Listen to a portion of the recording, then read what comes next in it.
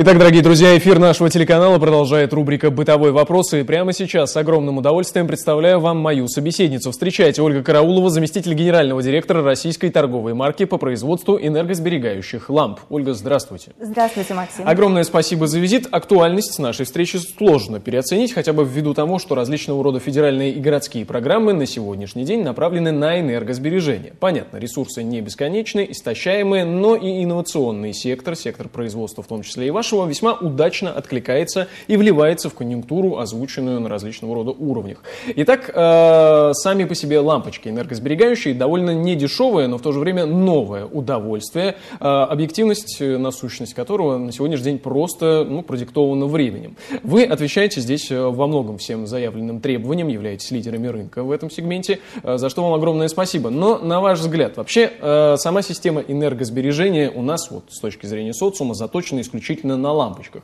Лампочки действительно могут сэкономить такое количество электроэнергии, за которым мы сейчас гонимся.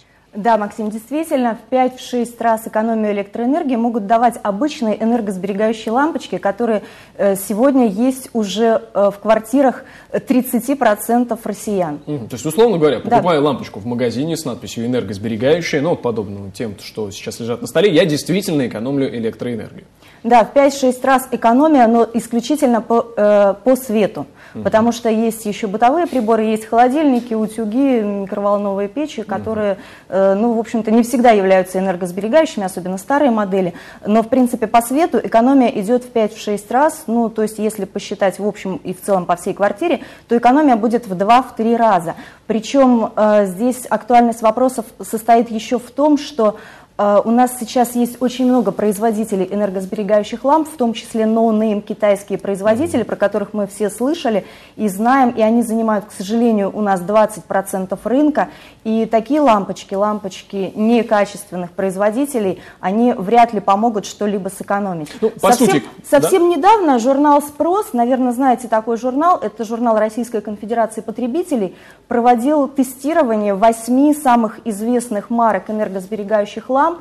И, в общем-то, результаты были, ну, вот по нашей марке результаты нас порадовали. Угу. По марке Эра результаты были, ну, прямо скажем, впечатляющие, потому что, допустим, и по световому потоку, и по длительности, э, по длительности использования ламп 4,5 года. Угу. Это официальные, э, официальные итоги э, проведенных тестов. Тестирование проводилось таким образом, то есть на, на 30 секунд в течение каждых 4 минут полтора месяца включали и выключали лампочки, то есть э, свыше 10 тысяч включений каждая из лампочек выдержала. Угу. И, то есть, э, ну понятно, то есть, да. в общем-то, цикличное тестирование вы прошли, цикличное и во многом здесь это как и, раз говорит лишний раз о качестве. Да, и по световому, да, и по световому потоку, угу. по световому потоку тоже лампочки выдержали все испытания. Но из восьми известных торговых марок на российском рынке 3-4 марки эти испытания прошли не очень успешно. Что уж говорить о Китае китайских товарах, которые, ну, в общем-то, лампочка, прямо скажем, вот как вы думаете, сколько стоит э, энергосберегающая лампочка в рознице? Ну, рублей 230. Э, ну, чуть-чуть поменьше. Это, скажем так, высокий ценовой сегмент. У нас 2-3 производителя ну, с мировым именем работают в этом высоком ценовом сегменте. На самом деле... Э, 150 рублей – это средняя цена энергосберегающей лампочки. И поэтому, когда у нас производители, в том числе некоторые российские производители, наверное, уже заявляли, что на полке лампочка может стоить 50-70 рублей. Ну, мы подождем. Просто, да, мы подождем. Просто, Все зависит, э, да, все-таки от качества. Да? Мы, понятно, берем лампочку чуть дороже, рассчитывая на то, что ее ресурсная база достаточно высока, Совершенно э, энергоемкости, эффективность ее также будет отвечать той стоимости вот в 200 рублей, о которых мы сказали выше. А, ну, вообще, эра лампового производства во многом эволюционировала именно на наших глазах. Являетесь ли вы преемниками ну, традиционной какой-то системы лампового производства, или вы прям целиком под ключ сделали новое предприятие, которое теперь выпускает вот такие высокотехнологичные Нет, нет разумеется, разумеется, мы выпускаем полную линейку товаров электробытового назначения, то есть это и сетевые фильтры, угу. это и фонари, и энергосберегающие лампочки в том числе. Ну, в, том числе да? в том числе и светодиодные лампы, это э, завтрашний век, завтрашний день, вернее, э, нашу ну вот цитата к завтрашнему веку. Это светодиодная лампа, правильно я понимаю? Да, это светодиодная вот, лампа. Она выглядит приблизительно вот так, дорогие друзья, не знаю, насколько это сейчас э, видно, но в любом случае она достаточно интересна по своему производству, по дизайну прежде всего. Э, она ярка, вот показываю. Вот она интересна вот. по да. экономии энергии. Вот расскажите, да, вот как правило не все красиво и сильно экономит деньги. Как экономит 3, деньги? 3 ватта энергии она потребляет и дает света как 60-ламповая, 60-ваттная да. лампочка накаливания. Угу. То есть 3,60 э, это экономия сами посчитаем в 20 раз. Ну, то есть в любом в 10, случае... В 10-20 раз экономия именно по электроэнергии, по потреблению электроэнергии. Угу. Ну, то есть достаточно конкурентоспособный, с хорошим дизайном вписывается, очевидно, высокотехнологичный э, интерьер в случае необходимости.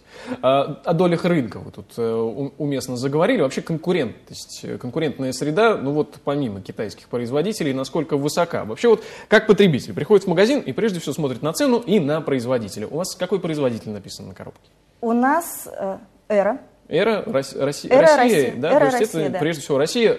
Можно российскому, российскому производству доверять на сегодняшний день, вот на ваш экспертный взгляд, абстрагируясь от того, что вы представитель компании?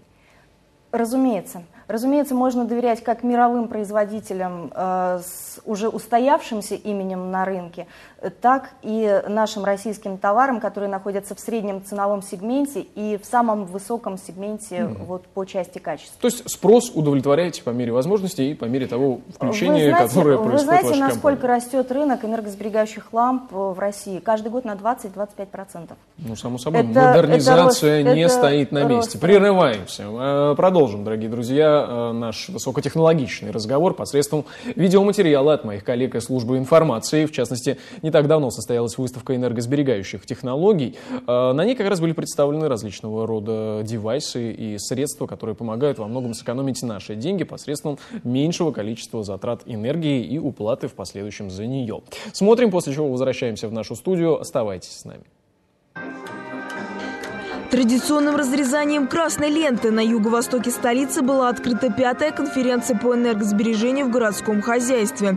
В Государственном университете управления собрались десятки представителей крупных компаний по производству уникальных установок и приборов экономии топлива.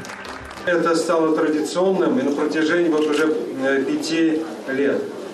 Вопросы, которые на этой выставке мы с вами можем увидеть практическом исполнении они достаточно разнообразно представлены в лице тех участников, которые здесь вы видите. И мы бы хотели их поблагодарить. А эти серьезные мужчины-химики. На пятой выставке они представили метод получения жидкого и газообразного топлива из растительных отходов. Промышленный эксперимент, поставленный ими, шокировал многих. Из болотных водорослей они получили масло, которое добавляют в дизельное